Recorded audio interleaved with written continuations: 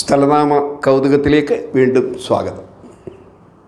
സാധാരണ ഭക്ഷ്യവസ്തുക്കൾ സ്ഥലനാമങ്ങളായി അതിന്റെ പേരിൽ സ്ഥലനാമങ്ങൾ രൂപപ്പെടാറുണ്ട്. അങ്ങനെയാണ് മാവും പ്ലാവും ഒക്കെ പേരിൽ വൃക്ഷങ്ങളുടെ പേരിൽ ഫലങ്ങളുടെ പേരിൽ ഒക്കെ സ്ഥലനാമങ്ങൾ രൂപപ്പെടാറുണ്ട്. പക്ഷേ അത്യപൂർവമായ ഒരു സ്ഥലപ്പേരാണ് പരിപ്പ്. നമ്മുടെ കോട്ടയം ജില്ലയിലാണ് ഈ പരിപ്പ് എന്ന് പറയുന്ന സ്ഥലം. അപ്പോൾ നമ്മൾ പരിപ്പ് എന്ന് പറയുമ്പോൾ കോട്ടയം ഒരു ചെറിയ ഗ്രാമമാണെങ്കിലും പരിപ്പ് എന്ന് കേൾക്കുമ്പോൾ തന്നെ നമുക്ക് മനസ്സിലാവും അത് കോട്ടയം ജില്ലയാണ്. ഇന്നത്ര കൗതുകകരമായ ഒരു സ്ഥലമാണ്. അത് പിന്നെ ഈ കോട്ടയം ജില്ലയിലാണ്. അതുപോലെ തന്നെ കോട്ടയം താലൂക്കിലുമാണ് ഇതുള്ളത്.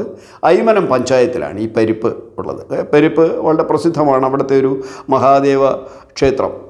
അതിൽ ഈ നൂറ്റിയെട്ട് മഹാദേവ ക്ഷേത്രങ്ങളെ നമ്മുടെ പരശുരാമൻ കേരളത്തിൽ സൃഷ്ടിച്ചു എന്നാണ് പറയുന്നത്. അപ്പോൾ ഇതിനെക്കുറിച്ചുള്ള പാട്ടുകളും കഥകളും ഗ്രന്ഥവരികളും ഒക്കെയുണ്ട്.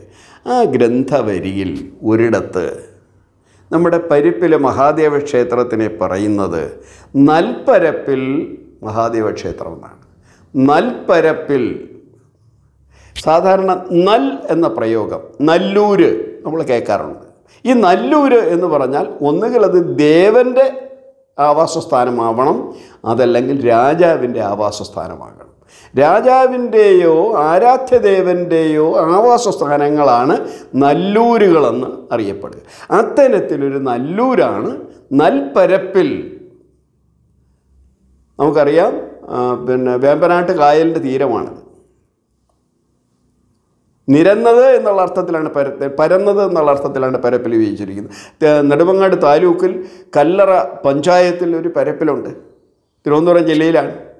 ആ സ്ഥലത്തിന്റെ പേര് തന്നെ പരപ്പിലെന്നാണ് സർവീസൊക്കെ ഉള്ള ഒരു ഉൾനാടൻ ഗ്രാമമാണ്. നിര കുന്നും പ്രദേശങ്ങളുള്ള പ്രദേശത്തുള്ള ഒരു നിരന്ന ഭൂമിയാണ് ഈ പരപ്പിലെന്ന് പറയുന്നത്. അപ്പോൾ പരന്നത് എന്നുള്ള അർത്ഥത്തിലാണ് ഈ ഇത്. നൽപ്പരപ്പിലായത് അവിടെ ക്ഷേത്രം വന്നതുകൊണ്ട്. പരപ്പിൽ പലതുണ്ട് പക്ഷേ നൽപ്പരപ്പിൽ ആയി വന്നത് അവിടെ ദേവന്റെ ആസ്ഥാനം കൂടി ആയതുകൊണ്ടാണ് നൽപ്പരപ്പിൽ എന്ന് പറയുന്നത്. അപ്പോൾ നമുക്ക് തോന്നാം അങ്ങനെയാണെങ്കിൽ വേറെയും പരപ്പിലുണ്ടാകണമല്ലോ ഉണ്ട്. പരപ്പ് എന്ന് പറയുന്നൊരു സ്ഥലമുണ്ട്. പരപ്പ് എന്ന് മാത്രം. പരിപ്പ് എന്നല്ല പരപ്പ്. അത് എറണാകുളം ജില്ലയിലാണ് പറവൂർ താലൂക്കിലാണ് ആലങ്ങാട് പഞ്ചായത്തിലാണ്. ആ സ്ഥലത്തിന്റെ പേര് പരപ്പ് എന്നാണ്. അതുപോലെ പരപ്പിൽ ഞാൻ പറഞ്ഞു തിരുവനന്തപുരം ജില്ലയിൽ നെടുമങ്ങാട് താലൂക്കിൽ കല്ലറ പഞ്ചായത്തിലൊരു പരപ്പിലുണ്ട്. ഇനി പരിപ്പ് വേറൊരു പരിപ്പ് കൂടിയുണ്ട്. പരിപ്പായി. പരിപ്പായി കണ്ണൂർ ജില്ലയിലാണ്. തളിപ്പറമ്പ് താലൂക്കിലാണ്. ചൊ ചെങ്ങളായി പഞ്ചായത്തിലാണ്.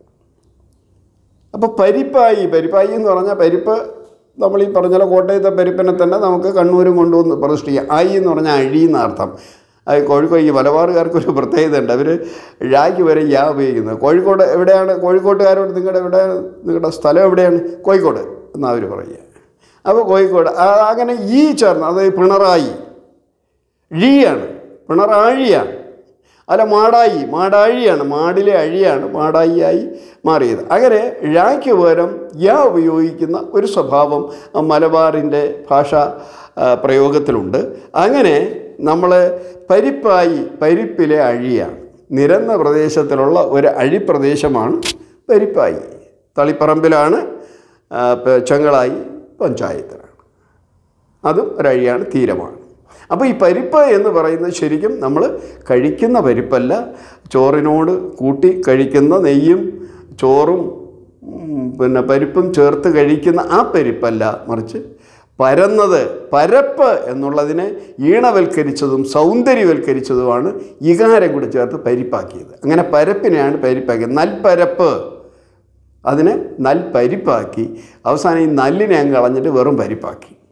അങ്ങനെയാണ് പരിപ്പ് രൂപം കൊണ്ടത് പരപ്പിൽ എന്നാണ് ആ സ്ഥലത്തിന്റെ പേര്. പരപ്പിൽ എന്ന് പറയുന്ന സ്ഥലങ്ങൾ ഒരു മൂന്ന് നാല് സ്ഥലങ്ങളെങ്കിലും നമുക്ക് പ്രധാനപ്പെട്ട സ്ഥലങ്ങൾ നമുക്ക് കാണാൻ പറ്റും. വേറെയും പരപ്പുകളും പരിപ്പുകളും ഉണ്ടായേക്കാം. കൂടുതൽ അന്വേഷണത്തിന് സ്ഥലനാമ പഠിതാക്കൾക്ക് കൂടുതൽ പരിപ്പുകൾ അന്വേഷിച്ച് പോകുന്നത് നന്നായിരിക്കും.